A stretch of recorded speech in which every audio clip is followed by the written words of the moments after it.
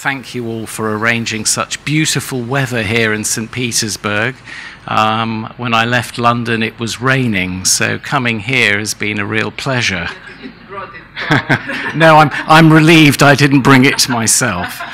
So, um, yes, we had a beautiful day yesterday at the Palace, so I wanted to uh, thank uh, the organisers for arranging to allow us to go and see your beautiful summer palace um, outside the city.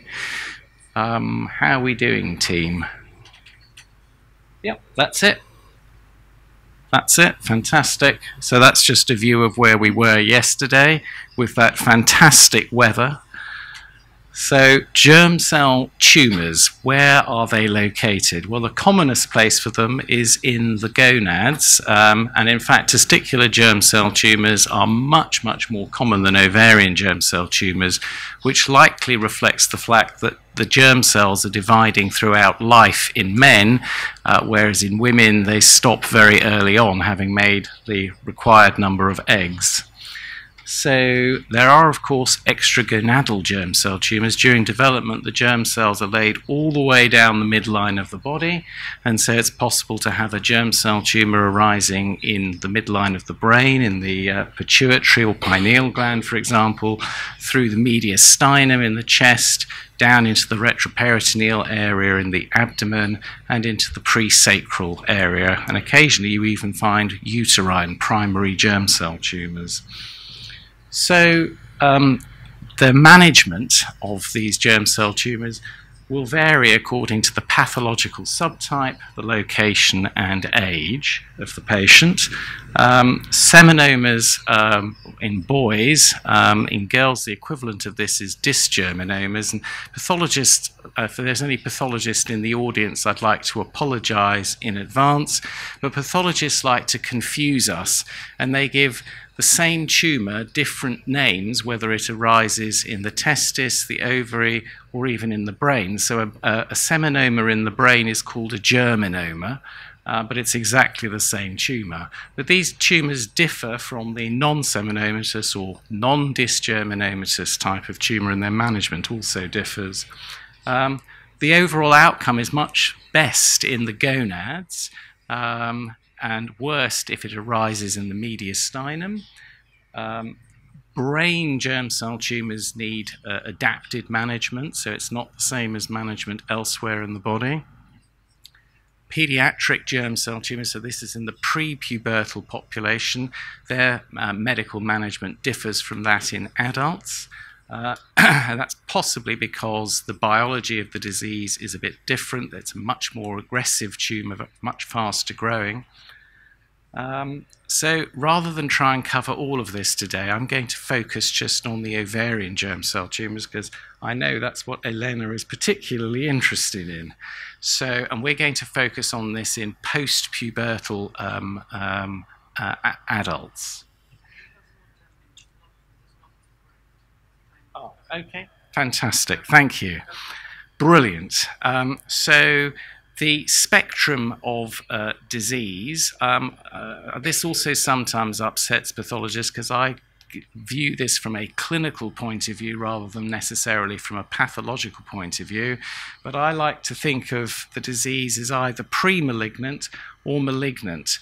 Um, many people think that dermoids, or the same thing as a teratoma in uh, a boy, um, are uh, benign conditions. I prefer not to think of them as benign because uh, dermoids can continue to grow and they can also de-differentiate into many different types of nasty cancer, including squamous carcinomas, adenocarcinomas, um, bowel type tumours. So, um, best not to think that a dermoid is benign.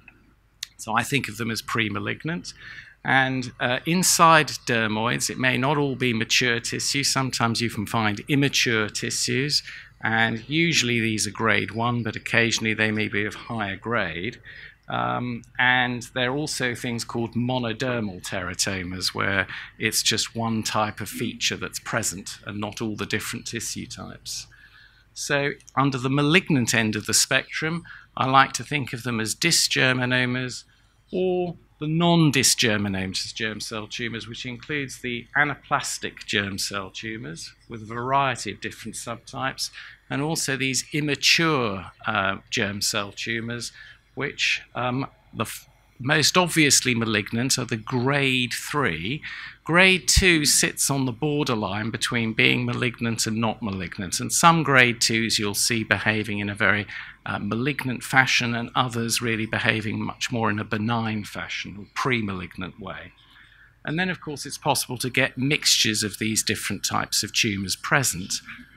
Um, and it's as well to think that you can move from one end of the spectrum to the other. So when you treat these malignant forms of germ cell tumours, you sometimes destroy all the active cancer, but then you're left with mature bits of tissue which can then uh, continue to grow, but they would be classified as dermoids when you take them out, or teratomas. Um, and of course, it's possible for the dermoid or teratoma that's left after treatment to grow or de differentiate back into active cancer. So it's a moving feast between the malignant and pre malignant ends of the spectrum. So, what things are do we know about germ cell tumours broadly, the ovarian germ cell tumours? So, peak age is between 15 to 25 years, but any age is possible. Uh, incidence we estimate is about one in half a million, so really rare stuff. Uh, it's about 2 to 3% of all ovarian tumours. It seems to be a bit more common in the black and Hispanic populations compared to others, but how solid that data is remains to be seen. Uh, there are possible genetic links. So I in my clinic have one family uh, with um, uh, repetitive dermoids affecting several family members. Um, and there are one or two other reports of this in the literature. The underlying gene for this has not yet been found. Uh, if we collect the families, maybe we'll be able to isolate the genetic cause, rather like we've been able to do in molar pregnancies. For yolk sac tumours, uh, there's been some recent data published associating them with um, PI3 kinase uh, mutations and uh, protein kinase B or AKT1 mutations and KRAS. Um, and for growing teratoma syndrome, there's been a report out this year showing that in one case, in a child, there was a PTEN mutation. So clearly, we have a lot to learn about how these germ cell tumours arise and what predisposes to them. Um, obviously, gonadal dysgenesis is another link to getting ovarian germ cell tumours. So, both Turner's and Swyer's are associated syndromes for gonadal dysgenesis and have increased risk of developing the disease. These patients present quite differently from epithelial ovarian cancer.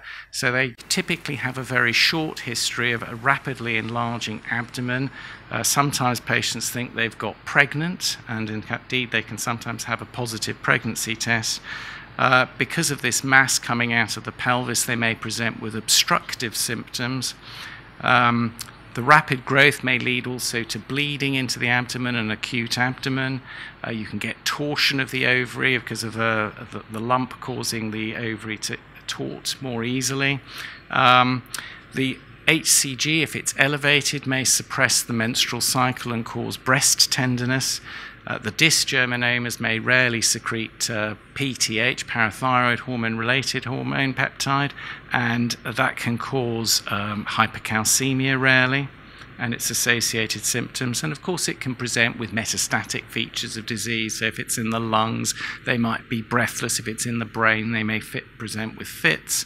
Uh, or systemic features of just generally feeling ill, malaise, uh, fevers. So, a variety of different presentations, but typically it's a rapidly growing mass arising out of the pelvis. Um, how do you investigate this? Well, obviously, the simplest investigation is an ultrasound, which may well show a complex cystic mass coming out of the pelvis. Um, this, in any young person, should prompt more uh, um, open investigation, including a contrast enhanced uh, CT of the body. Uh, if you have access to it, MRI pelvis, I find, is better than CT in the pelvis. Um, tumor markers, so uh, should always be thought of because, of course, this might give you the diagnosis. You might not need to go any further once you've found that the patient has both an elevated HCG and AFP and a, a, complex pelvic mass. What else is this tumour likely to be other than an ovarian germ cell tumour in a young patient? CA125 is not a um, specific marker. Anything that causes peritoneal inflammation will cause the CA125 to go up. LDH, lactate dehydrogenase, is also not a specific marker but can correlate with uh, how the disease is behaving in response to treatment and can give you a clue that you might be dealing with an ovarian germ cell tumour. So, if there are lung metastases, then this increases your risk of having brain disease. So, a MRI of the brain uh, is worth uh, considering. Um, what about PET scanning? Lots of people think that PET scanning is a great idea. Uh, we personally find it not terribly helpful. Uh, it causes false positives, false negatives, and in the initial investigations, it's not part of our routine. Um, bone involvement with germ cell tumours can occur, but it's exceptionally rare, which would be, I suppose, another reason for wanting to do an FDG PET, as this lights up the bones very well genetics, if you have somebody whose diagnosis comes back as a choriocarcinoma, then you need to think is this a germ cell derived choriocarcinoma or is this a gestational choriocarcinoma? And it's possible to do microsatellite polymorphism analysis to sort this out as uh, if it's a gestational pregnancy uh, causing this a, a, gestational chorio, then you will find it has paternal genes. It's not just the patient's DNA present. So, stage one disease, how should this be managed? Well, typically, fertility conserving uh, treatment is what you want. Remember, these are young people, so unilateral salpingo-oophorectomy is the way to go. Um, it does need some staging to look to see whether it's spread elsewhere. So, a good view of the rest of the abdomen, biopsy of the omentum. Do you need to biopsy the contralateral ovary? No. Rather like in testis cancer, we've learnt that this is not necessary in ovarian germ cell tumours, and it might actually cause scarring of the remaining ovary, which uh, could uh, lead to impaired fertility. So we no longer do this. Uh, do you need to do extensive lymph node dissection? There are some that still argue that you should. We would argue very strongly that it is completely unnecessary, just like the case in testicular germ cell tumours, where this is no longer done. This disease is very sensitive to chemotherapy, so unless you have an obviously enlarged lymph node, no point removing it. Uh, so peritoneal washings, however, are useful, paracolic uh, washings, so that you've um, uh, got uh, some idea as to whether or not this is seeded outside the ovary. Uh, so how should this operation be done? Should you do it by an open procedure or because this is a young woman who doesn't want a big scar, should you do it by a laparoscopic approach? Um, I personally favour the, the open approach because it's easier um, to get a good view and to remove the whole ovary intact. Um, and if you have a large tumour, you're going to have to morcellate this inside the abdomen before you can take it out through a small porthole. And the problem of morcellation is it destroys the pathologist's ability to tell you whether the tumour had broken through the capsule. You've got no idea, so you can't work out whether this is a, a stage 1A or a stage 1C. Uh, and of course, it could potentially seed the tumour and convert the patient into a stage 1C. Um, in theory, there may be port site metastases, although I've never seen this in this disease. Um, and as we said earlier, it can ruin the ability of the pathologist to properly stage the patient for you. So I prefer the open procedure, although I understand that many young women would not like to have a, a larger scar. So how could you manage a stage 1A patient who you think is stage 1A from your operation and uh, from uh, the pathology that's come back? Uh, well, one way is to consider surveillance. Um, another option might be to give them adjuvant chemotherapy, something that is uh, done. Uh, both of these strategies are used in male germ cell tumours. Um, you could, if you had a dysgerminoma, think about giving adjuvant radiotherapy, but actually that's now uh, past tense because there's ample data showing that radiotherapy induces sterility and uh, that it can cause second cancers. So that's no longer an option. Uh, you might think about doing additional surgery to remove other things that uh, you originally thought were not uh, positive but could be positive. Uh, but again, that's no longer really an option uh, because of the morbidity associated with it. So, um, would poor prognostic features dampen your enthusiasm for doing surveillance? Uh, so things like lymphovascular invasion might be considered a poor prognostic feature. If you've got marker positive disease, some people say that's a poor prognostic feature. Very large tumours, uh, endodermal sinus or yolk sac tumour are frequently quoted in the literature as poor prognostic features. Uh, pure choriocarcinoma is also thought to be a poor prognostic feature. But in fact, with all of these things, surveillance looks like it's probably still okay. Um, it certainly is in the male testicular germ cell tumours. In the women, we're still learning because we still only have smaller numbers of patients. Uh, so this just illustrates a lady who had a 24 centimeter stage 1A germ cell tumor. It was a yolk sac tumor, AFP secreting. You can see the green line is falling very nicely uh, and it returns to a normal value. And you'll see that the blue line, which is the HCG, some months after the removal of the uh, ovary, has gone up. So her HCG has risen. Hands up, how many people here think that she's relapsed? Nobody thinks she's relapsed. That's good because she hadn't. That was the result. So, very happy result. Uh, so here's another lady uh, having, I think, a 26 centimeter yolk sac tumor removed, and you'll see her AFP was initially falling reasonably well according to its half-life, but the rate of fall started to peter out towards the end, and indeed you can start to see the AFP beginning to rise. Uh, so she had a marker relapse. Investigations were completely negative at this point, and she went on and had three cycles of BEP chemotherapy. Uh, so uh, after that, you'll see that her AFP, the, the bottom line, returns to normal, but you'll notice that the top line, the HCG, has blipped up a little bit. And that's quite common because when we give uh, intensive chemotherapy, we induce a temporary menopausal state. Um, fortunately, the ovaries recover within a few months of finishing the treatment, and that's without having to do anything special. You don't necessarily need to use GnRH analogs. Uh, it's perfectly okay just to allow this to happen naturally. Uh, and you'll then notice that a few months later, the HCG has gone up and she was also pregnant. So whether you have chemotherapy or you don't have chemotherapy and you have only one ovary left, it is perfectly positive, uh, possible to get pregnant. And our latest data, which we're just analysing, comparing this, shows that the success rate in getting pregnant after chemotherapy or without chemotherapy in these women is the same. It's about 83%. So, stage 1A, adjuvant versus surveillance. There's no completely right answer which you should do. Uh, we uh, note that the costs are very similar in our health uh, economy. Maybe in yours it will be a bit different, but for us it's very similar. Surveillance is clearly the least toxic thing to do. If the patient can't comply, we give uh, carboplatin AUC 7 times 2 for the dysgerminomatous uh, germ cell tumours.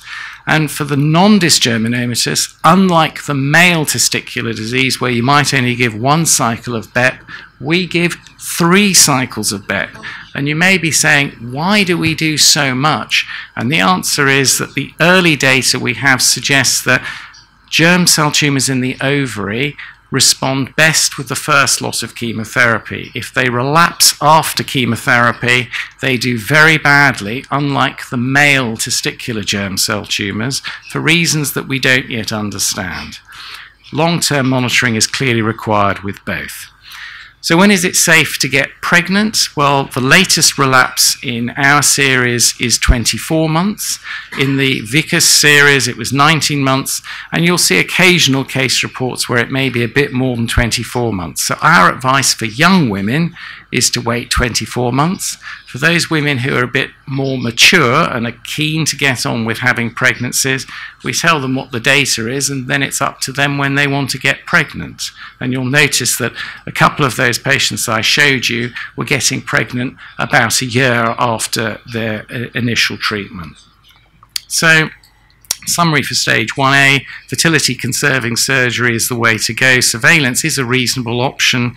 Uh, the actual data, the latest data from our centre is 19% relapse rate. Uh, some reports go up to 36% relapse rate, but nearly all of these women can expect to be cured. Um, adjuvant therapy uh, is an alternative. Uh, we use this in non-compliant patients for surveillance, uh, but remember it's going to overtreat at least 75% of women who never needed any chemotherapy. Um, there are, of course, short and long-term toxicities of the chemo, and most of the relapses occur within one to two years, and nearly all of those are in the pelvis or the abdomen. So that's where your imaging effort needs to go. Fertility is very high in these women, but not if you irradiate their pelvis. So can we extend surveillance to stage 1C? Uh, so stage 1C immature germ cell tumours um, uh, probably surveillance is safe if they've got uh, grade 1 or grade 2. What about grade 3, the most obviously malignant type of immature germ cell tumour? There's some data coming from the Italians, the MITO group, that suggests that it may be safe to do surveillance in these women, and we have a joint publication that we're working on where we've combined our data with the MITO data. And it is an option, and we've certainly been offering it as an option for some patients who want it. But we've had one grade three lady who relapsed on surveillance with a para-aortic node, she went through chemotherapy. The node grew again. We took it out. Uh, it was still containing active cancer, so she went on to require two rounds of high dose chemotherapy in order to achieve a remission. And of course, she's now infertile as a consequence of high dose chemotherapy, although she's well. What about dysgerminomas? Can you do stage 1C surveillance for those patients? Possibly is the answer. Uh, so something that we're now actively exploring. What about for non-dysgerminomatous uh, uh, uh patients that are not uh, uh, grade 3? well, I think the answer to that is probably not safe to do surveillance in these patients, so we don't currently offer that to them. So not, not to a stage 1C yolk sac tumour or, for example, a stage 1C chorio. Surgery for more advanced disease. Um, do we actually need to do debulking, diagnostic surgery in a patient who's got obvious metastatic disease when you image them? Well, if they're marker positive, you've got the diagnosis. So, do you really need to do anything? Probably not. You could probably get on and give them chemotherapy. If they're marker negative, then you certainly need to get some tissue out to make the diagnosis. Um, urgent neoadjuvant chemotherapy is something to consider. Why? Well, it may preserve fertility because if you've got a really big complex mass in the abdomen, you come to operate, you may end up taking both ovaries, tubes, and the uterus out because it's also stuck down. Give the chemotherapy, you might shrink this down and make the surgery much easier later on. And um, if you do massive radical debulking surgery in these patients, uh, you may find that in the post-operative period, while they're healing up and they're not well enough to give chemotherapy, all the tumor regrows. So any benefit that you had out of the debulking is lost. So we think that neoadjuvant chemotherapy is well worth considering in these very advanced cases. This just shows you a patient who had quite advanced disease in the pelvis, went through chemotherapy and it all melted away. Here's another lady with very advanced disease. You can see peritoneal studding um, and ascites, and you'll notice that after chemotherapy, all of this has gone away. So then all you need to do is remove the affected ovary. Uh, here's an example where the advanced disease got a bit smaller and calcified with chemotherapy, and these residual masses need to be removed because you don't know whether it's got active cancer or dead teratoma or whatever, so you have to take it out. And post surgery, the, the responses, as you can see on the right hand side, great. So here's a patient who was treated in another centre, and they carried on treating this woman for a year with various different chemotherapy regimens, and all through the year, the disease just kept growing. What the centre didn't realise is that she had mature teratoma growing syndrome, and so she was unnecessarily getting more and more chemotherapy. Her markers had been initially raised, they'd largely normalized. Her AFP remained a bit raised, and that's because the liver was being damaged by chemotherapy and was producing AFP as it was trying to repair itself.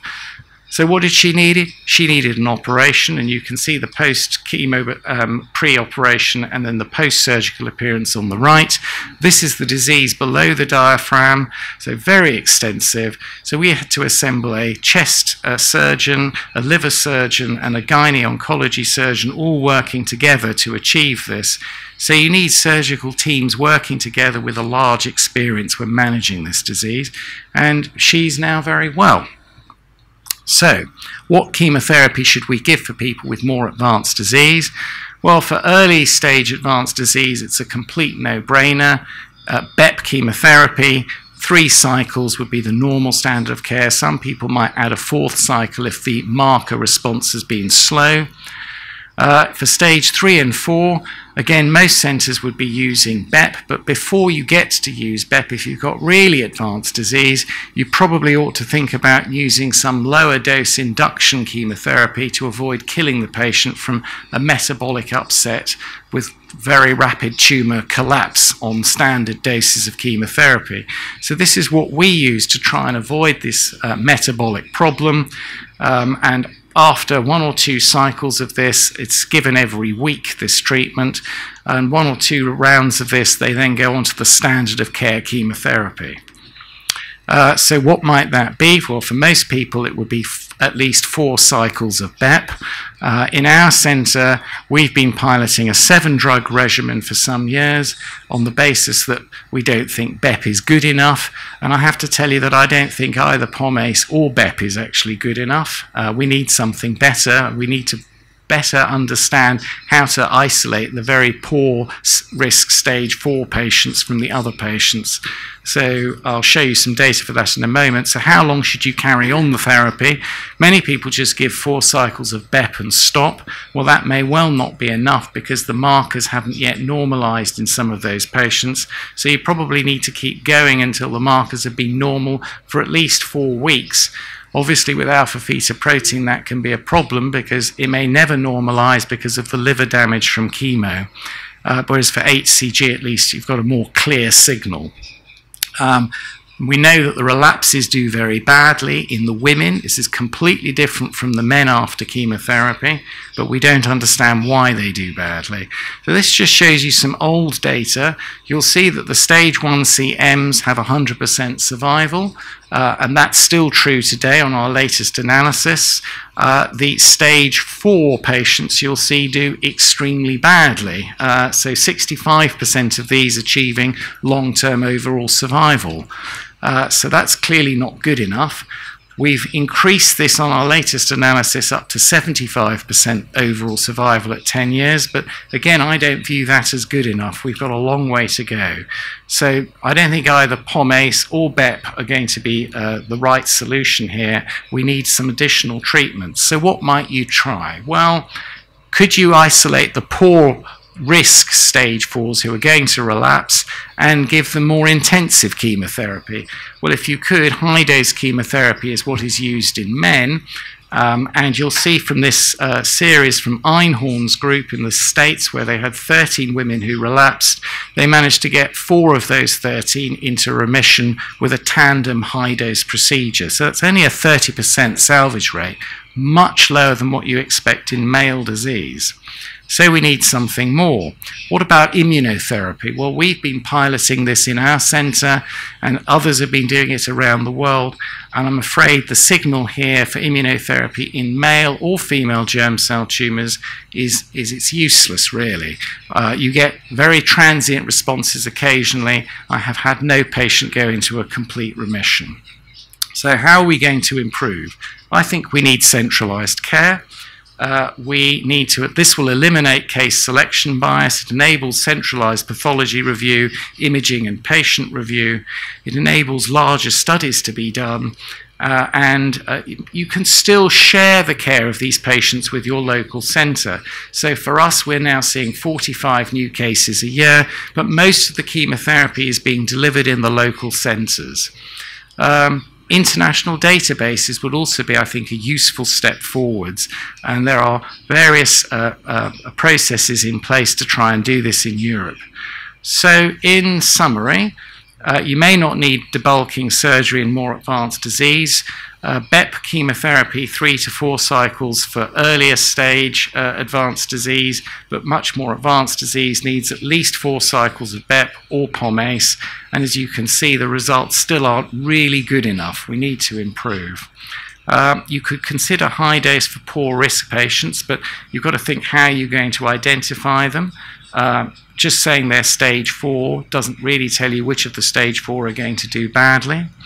Um, we know the relapses in ovarian germ cell tumours do badly, but we of course need these new prognostic factors.